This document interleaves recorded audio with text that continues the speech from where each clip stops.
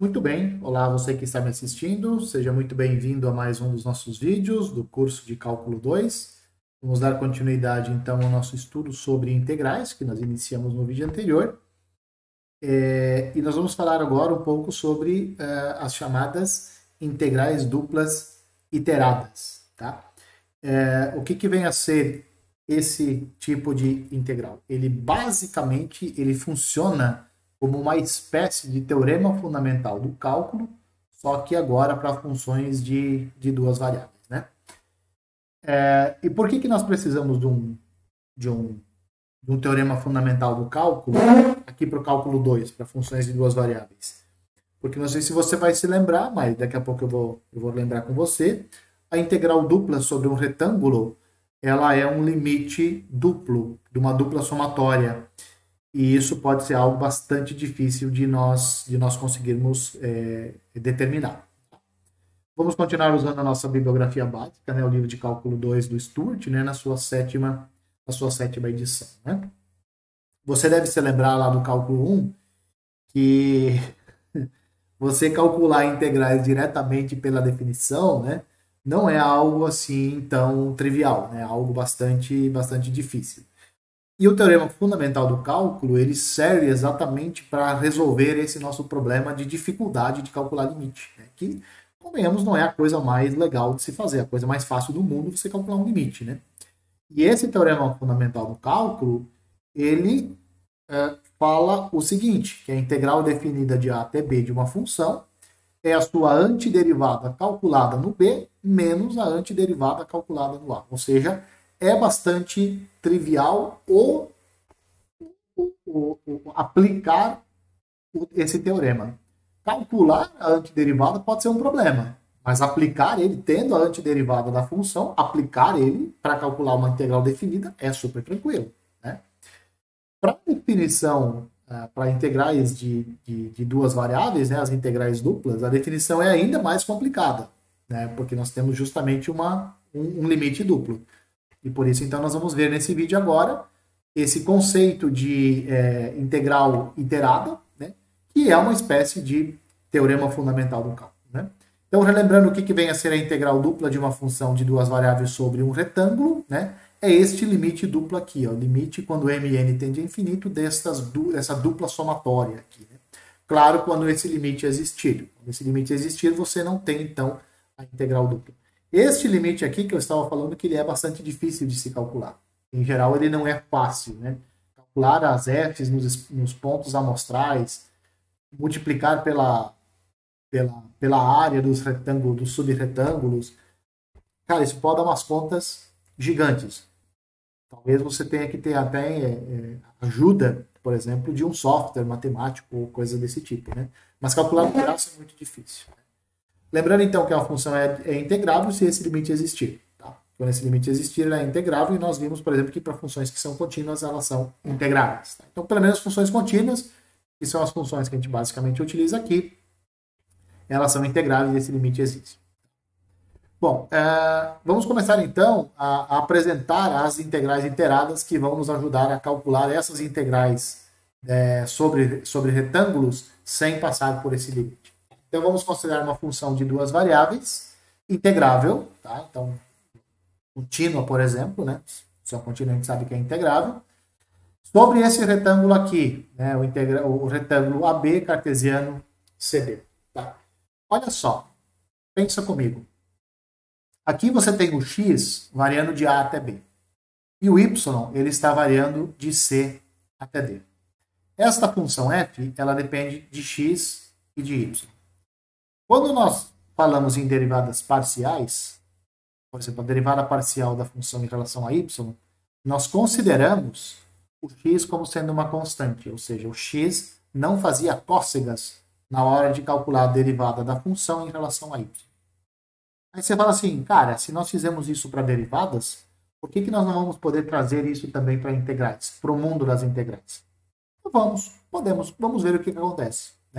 Então, essa integral aqui, ó, essa integral definida de c até d de f de xy dy, isso vai indicar que nós estamos mantendo o x constante, constante fixo, ele é constante. E a f, que só vai depender então do y, ela vai ser integrada, integrada em relação a y, com o y variando de c até d. Então essa integral aqui, ó, ela vira uma integral definida do jeito que foi visto lá no cálculo. Ela depende só de y, porque o x está fixo. Então só o y é que vai ser considerado uma variável. O x vai ser considerado fixo.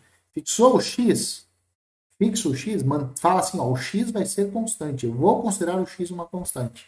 Então você tem uma integral em y igualzinho a do cálculo 1 e você vai poder usar o teorema fundamental do cálculo para esta integral aqui. Certo? Muito bem. Este procedimento, adivinha qual é o nome desse procedimento? Exatamente. Integração parcial em relação a y. Nós não tínhamos a derivação parcial em relação a y? Então, aqui nós temos a, a integração parcial. Note a semelhança dessa integração parcial com a derivada parcial, no caso aqui em relação a y. Tá? Observe o seguinte, quando você mantém o x constante, este, essa integral aqui que você obtém, ela depende de x, porque você vai fazer a substituição de y por c e por d, porque você vai tratar isso aqui, você vai calcular a antiderivada, você vai calcular a antiderivada em relação a y e vai trocar y por d menos a antiderivada calculada em c. Antiderivada em relação a y calculada em d, antiderivada da função em relação a y calculada em c. Então o y ele vai desaparecer. O y vai virar número e vai ficar tudo em função de x. Como tudo vai ficar em função de x, você tem uma nova você tem uma nova função, que é esta função aqui que a gente vai chamar de função a de x. Ela é integral de c até d, f de xy dy, porque isso aqui vai depender só do x. De novo, repetindo, quando você for resolver esta integral aqui, o y ele vai desaparecer, porque você vai trocar ele, você vai calcular a antiderivada e vai substituir y por d e y por c. Então ele vai desaparecer e vai ficar só o x na brincadeira. Então isto vira uma função de x. Essa integral aqui é uma função de x. Nós vamos chamar ela de a de x. O fato de ser a de x não é em vão. Daqui a pouco nós vamos ver que esse, essa, essa integral aqui, ela às vezes é uma área. Quando que ela é uma área? Quando essa função aqui for uma função positiva. Quando f de xy for positiva sobre o retângulo, uma integral desse tipo é uma área. E nós vamos ver daqui a pouco qual área que ela é. Daqui a pouco a gente vai ver isso. Aguenta um pouquinho aí. Tá? Então, mas, enfim, isso vira uma função, mesmo uma função de x, mesmo a f não sendo positiva. Tá? Bom, então você fala, se essa aqui é uma função de x e o x está variando de a até b, então eu posso fazer essa, posso calcular essa integral aqui, ó, a integral de a até b da função a de x, que na verdade é essa função aqui, ó, é essa integral. A a de x é essa integral aqui, certo? Muito bem. Este lado direito aqui é o que a gente chama de integral iterada. Por que iterada? Porque você está fazendo duas vezes a integral. Você está calculando duas integrais. Calcula uma integral, calcula de novo. Esse nome ele vem lá da computação.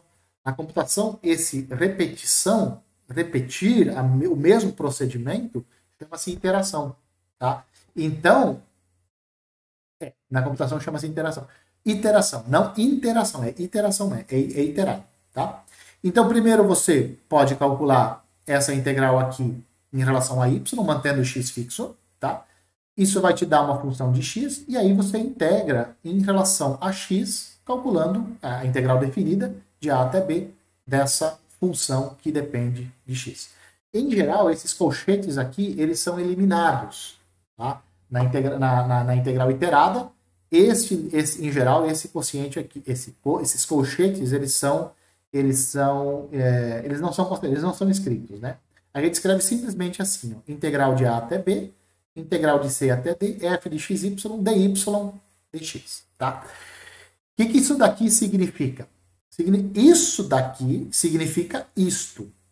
Então significa que você está primeiro ó, calculando essa integral aqui ó, em relação a y, Tendo o resultado, você vai calcular a integral em relação a x. Então, primeiro integramos em relação a y, de c até d, e depois nós integramos em relação a x, de a até b. Tá certo? Então, esse é o procedimento. Essa é a integral chamada de integral iterada. Aí você pode falar assim, mas velhinho, ó, se você calculou primeiro a integral de c até d de f de xy dy, primeiro você considerou x constante e integrou em relação a y, isso foi o primeiro que nós fizemos, você fala assim, mas você poderia primeiro ter integrado em relação a x de a até b, porque o x varia de a a b, calcula essa integral aqui e mantém o y constante. Se você mantiver o y constante, isso aqui vira uma função de x. Essa integral aqui de dentro do colchete né, vira uma integral em relação a x. O que você vai obter é uma função de y. Porque, de novo, quando, a, depois que você calculou essa integral, o resultado vai ser uma função de y, vai ser uma a de y. E aí você pode fazer a integração de c até d dessa função a de y aqui de dentro. É, então, isso você pode fazer. Isso vai te dar, então, a integral de C até D, integral de A até B, f de xy, dx, dy. Então, aqui você vai observar que nas integrais iteradas, primeiro você, você faz a integração de dentro para fora. Primeiro você faz essa integral aqui de dentro, e depois, tendo o resultado, você calcula a integral de fora. Vamos a um exemplo para a coisa ficar um pouco mais, um pouco mais é, clara para nós aqui na nossa cabeça. Então, olha só, aqui nós temos a integral de 0 a 3, integral de 1 a 2, x ao quadrado y dy dx. Tá? Então, nós estamos nessa situação aqui, ó, dy dx. Então, primeiro nós vamos calcular a integral de dentro em relação a y. Tá? Então, primeiro, vamos calcular esta integral aqui, esta integral, em relação a y. Quando nós calcularmos a integral em relação a y primeiro, o x vai ser tratado como uma constante. Tá? Então, o que, que vai acontecer? Então, a integral de 1 até 2, que é essa integral de dentro aqui, x ao quadrado y dy, você vai integrar o y. Esquece x, x é uma constante. Sendo uma constante, sendo uma constante, você pode, inclusive, se quiser, passar ele para fora da integral. Passa para fora da integral aqui. Não é o caso que não é do jeito que o livro fez, mas dá para fazer assim. Então você vai integrar só o y. Qual é a integral de y em relação a y? É y ao quadrado sobre 2. Quais são os extremos? y igual a 1, y igual a 2. Então aqui, ó, tá vendo o que, que nós fizemos aqui? Aplicamos o teorema fundamental do cálculo. Aqui está a antiderivada. Tudo que está dentro do colchetes é a antiderivada desta função x quadrado y em relação a y. Então, antiderivada calculada em 2 Ó, substituímos o y igual a 2, menos a antiderivada calculada em y igual a 1. Faz as contas e você vai chegar em 3 meios de x. Não falei para você que você iria obter uma função de x? Está aqui, ó. Olha lá. Eu falei para você, ó. vai dar uma função de x. Vai depender só do x, porque você vai eliminar o y. Lembra que eu falei, ó, o y vai ser substituído pelos extremos aqui. Pelo C e pelo D. Então o Y vai desaparecer, vai ficar só X. Ficando só X, nós temos então que essa aqui é a nossa função A de X. 3 meios de X quadrado. Muito bem, e agora nós podemos calcular, então, esta integral aqui, esta integral, em relação a x, com o x variando de 0 a 3, que é o que nos, que é o que nos está nos dando, é o que nos está dado aqui no exercício. Então, essa integral que nós queremos é essa integral aqui. Essa aqui de dentro do colchete nós já calculamos. É 3 meios de x quadrado. Então, vem aqui e troca. Qual que é a integral de 3 meios de x quadrado? x ao cubo sobre 2. Porque nós vamos adicionar um, um expoente aqui no x e ele vai cair como um denominador. Então, vai ficar 3 que multiplica 3 meios, que multiplica x ao cubo sobre 3. Esse 3 vai se cancelar, vai ficar só isso daqui. Calculado, então, de 0 a 3. Substitui o x por 3, substitui o x por 0. Substituir por 0 vai dar 0, então vai ficar só 27 meios. Né? Então, esta integral aqui, de 0 a 3, de 1 a 2, x ao quadrado y, dy dx, deu 27 meios. Tá? O que, que acontece se nós trocarmos aqui a integração e nós quisermos a integral de 1 a 2, de 0 a 3, x ao quadrado y, dx dy. No anterior, era a, ó, os extremos são os mesmos, o x varia de 0 a 3, o y de 1 a 2. Tá?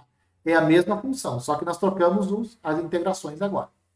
Vamos integrar primeiro em relação a x e depois vamos integrar em relação a y. Tá? Então, essa integral aqui, ó, que nós estamos procurando, é integral de 1 até 2, integral de 0 a 3, x ao quadrado y dx. E depois em relação a y, tá? Então vamos lá. Para nós calcularmos essa integral de 0 a 3 de x ao quadrado e vezes y em relação a y, nós vamos manter y constante. Não, nós vamos integrar em relação a x. Então vamos manter y constante e vamos calcular a integral em relação a x. Qual é a integral disso daqui, a antiderivada desta função aqui em relação a x? x ao cubo sobre 3 que multiplica y. E vamos calcular nesses extremos aqui de variação de x, né? x varia de 0 a 3. Ótimo. E depois vamos integrar em relação a y. Então, fazendo a substituição aqui, nós vamos substituir o x por 3, e aí vai ficar 9y. O x, quando for substituído por zero, vai zerar. Então, vai desaparecer. Então, esse colchete aqui fica 9y, então nós vamos ter a integral de 1 até 2 de 9y dy.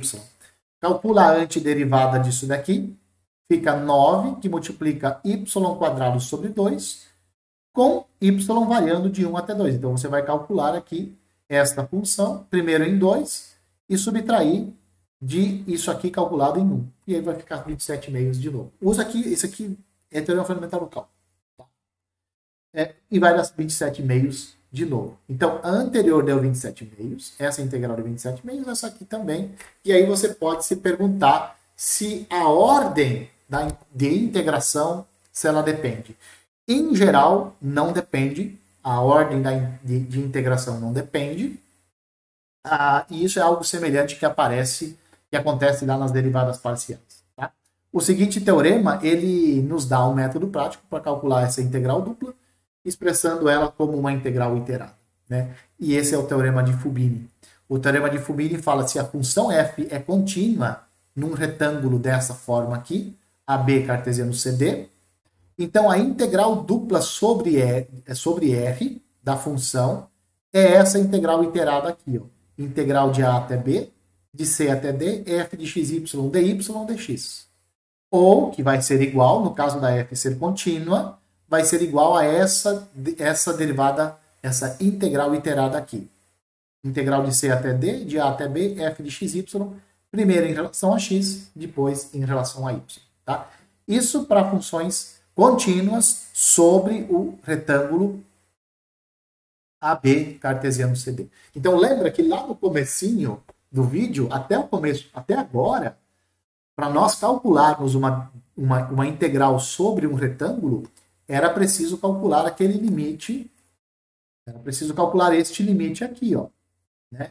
Agora, com as integrais iteradas, iteradas, esse teorema aqui está dizendo, olha, se você quer uma integral dupla sobre uma região retangular, sobre um retângulo, basta que você calcule uma dessas duas integrais iteradas aqui, qualquer uma delas. No caso da f ser contínua, essas duas integrais iteradas são iguais e mais ainda são iguais a essa integral uh, sobre um retângulo. Tá? Funções contínuas, nós vimos, elas são integráveis, então essa integral aqui existe, essa daqui, essa integral iterada existe, essa daqui também existe, e as três são iguais. Tem um caso mais geral, esse teorema é mais geral do que só para funções contínuas, ele também vale é, para funções que são limitadas sobre o retângulo, e ela tem descontinuidade apenas sobre um número é, finito de curvas suaves. Curva suave significa tem retas tangentes em todos os pontos. Né? E é claro, quando a integral existe, quando, essas, quando essa integral aqui existe. Então, esse, esse caso aqui a gente não vai considerar. Nossas funções, em geral, são funções contínuas, certo? Então agora nós temos um método prático, de fato, para calcular uma integral dupla sobre um retângulo. Basta com que você calcule uma dessas duas integrais iteradas aqui, que são equivalentes a, é, a derivadas parciais que nós vimos alguma, alguns vídeos atrás. Né? Bom, se a função de duas variáveis for positiva, se a função de duas variáveis for positiva sobre um retângulo, então nós já vimos que o, o volume, o volume é dado por essa integral aqui, integral dupla sobre f da função em, uh, uh, da função f de xy dA. E aí você pode utilizar uma dessas duas integrais iteradas aqui e calcular o volume. Então esta é uma forma de você calcular o volume de uma de uma um, de um sólido, né, abaixo abaixo do gráfico da função, acima do retângulo R, tá? Bom, lembra daquela função a de x que nós vimos? Da onde é que ela surge? Por que, que vem a de x? a de x vem de área. Vamos lá. Suponha, olha só, que a sua função f de xy ela seja uma função positiva, maior ou igual a zero. Vamos dizer assim, não negativa, né? Então ela é, ela é maior ou igual a zero para todos os elementos do, do para todos os pontos desse retângulo. Beleza. Então quando você calcula essa integral iterada aqui, ó, essa integral iterada aqui, ó, isso te dá uma área. Lembra que eu falei para você, você mantém o, o, o, x fixo? Quando você mantém o, o x fixo, a sua função é positiva, então você tem uma área, essa integral te dá uma área, isso vem lá do cálculo 1. Mas qual área é essa? é a área, obti, é a área obtida, é, é a área da figura obtida é, pela seção transversal em X no seu sólido S. Então, você não manteve o, X fixo? Qualquer X você pode. Você, como você está mantendo o X fixo, você pode pegar qualquer X aqui entre A e B. Ou qualquer outro X. O X é fixo. Você escolhe quem é ele. Então o x está em geral você pega aqui no AB, né? Se você pega ele entre A e B, a função está definida, vai estar no, no, domínio da função, etc. Então pega o x entre A e B.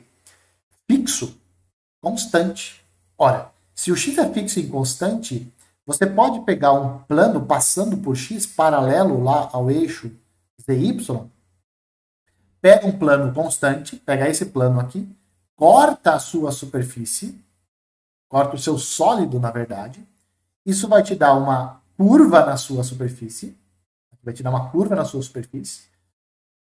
E essa interseção vai dar esta interseção com o sólido, né? Vai te dar esta região que está meio rosa aqui. Tá certo? Essa integral aqui te dá esta área aqui. Por isso que é A de x. Essa integral aqui, de C até D, f de xy dy, vai te dar essa área dessa seção transversal aqui. Tá? Agora, suponha o seguinte, você faz, calcula todas as áreas de todas as seções transversais. De todas as seções transversais. Tá? Tem um princípio na matemática que chama princípio de Cavalieri.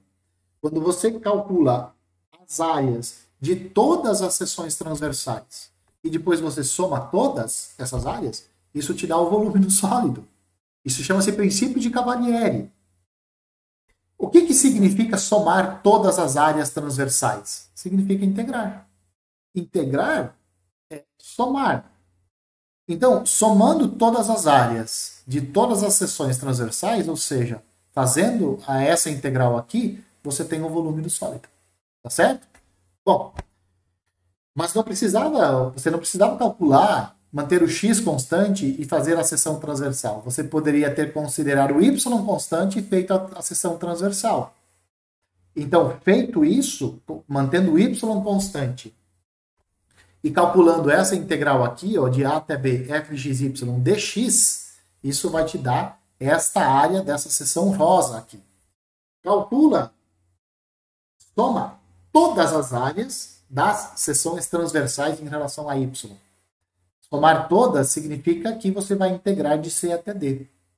Então você vai somar todas essas áreas aqui e você também vai ter o volume do seu solo, tá certo? Então essa é uma justificativa de é uma outra justificativa de por que, é que o volume do sólido pode ser dado por essa integral dupla, já que essa integral dupla aqui é, são essas duas integrais iteradas. Né? Então aqui está uma explicação via seções transversais. Para cada seção transversal você tem uma área, soma todas as áreas de todas as seções transversais, somar todas as áreas significa integrar. Certo? Bom. Tendo isso, vamos calcular essa integral dupla aqui, como exemplo, né? integral dupla, sobre o retângulo R, é, o x varia de 0 a 2, o y de 1 a 2, x menos 3y ao quadrado dA. Vamos calcular essa integral dupla aqui. Vamos usar o teorema de Fubini, e o teorema de Fubini fala o seguinte, para calcular essa integral dupla aqui sobre R, é, você pode calcular essa integral, essa integral é, iterada aqui, o x variando de 0 a 2, o y variando de 1 a 2, x menos 3y ao quadrado, dy dx. Primeiro, ó, você, nós vamos considerar primeiro a variação de y, né? y variando de 1 a 2. Então, você vai integrar primeiro em relação a y, depois em relação a, a x. Tá? Como é que você faz para calcular essa integral aqui, ó, a integral dessa função em relação a y? Você vai manter x constante. Então, qual vai ser a antiderivada dessa função aqui quando x for uma constante? Vai ser xy menos y ao cubo, calculando y de 1 até 2, aplicando o teorema fundamental do cálculo. Calcula isso, vai te dar x menos 7. Quando você faz essas contas aqui, ó, quando você calcula em y igual a 2 e depois y igual a, igual a 1, faz a subtração, ou seja, aplica o teorema fundamental do cálculo, você vai, aplicar, você vai obter simplesmente x menos 7. E aí você vai integrar de 0 a 2. Então, integral de 0 a 2 de x menos 7 fica x ao quadrado sobre 2 menos 7x, calculado de 0 até 2. Calcula em 2, calcula em 2, vai dar menos 12, calculado em 0, vai te dar 0. Então, essa integral sobre o retângulo, que é igual a essa integral iterada aqui, vai dar menos 12. Aí você fala assim, mas por que, que nós vamos calcular a integral primeiro em relação a y, se nós podemos calcular a integral primeiro em relação a x? Podemos também. Cuidando que aí você tem que inverter, então, as integrais. Então, agora vai ficar a integral de 1 até 2, de 0 a 2, da mesma função, só que primeiro em relação a x, depois em relação a y. O teorema de Fubini fala, tanto faz, tanto faz, qual é a ordem de integração. Você quer a integral dupla sobre um retângulo? Faça integral iterada. Iterada. Tanto faz. Primeiro em relação a y ou primeiro em relação a x. Primeiro fizemos em relação a y, que foi dada na solução 1. Integrando isso aqui em relação a x, vai o y vai ser constante, né? Vai ser tratado como uma constante. Integral de x é x ao quadrado sobre 2. A integral da constante é a constante vezes x.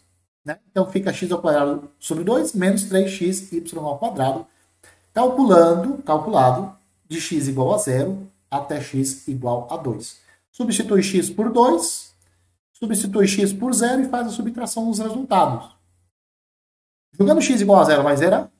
Então basta você calcular isso aqui tudo em 2. E aí vai ficar 2 menos 6y quadrado. E agora você vai integrar isso daqui em relação a y. Essa integral aqui em relação a y fica 2y menos 2y ao cubo, calculados de 1 até 2. Isso também vai te dar menos 12, né? que é exatamente o que fala o teorema de Fubini. Que é a, integração, que é a integral dupla sobre um retângulo, calcula uma das integrais iteradas. Qual você vai escolher? Primeiro em relação a y, depois em relação a x? Ou primeiro em relação a x, depois em relação a y? É o que mais te convém. É o que mais te convém. O que for mais fácil para você. Ah, então é bom testar?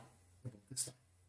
Calcula, deriva, é, integra primeiro em relação a x. Veja se a integral é fácil de calcular. Ah, foi fácil de calcular a integral em relação a x? Foi. Ah, então beleza. Então calcula em relação a x. Depois integra em relação a y.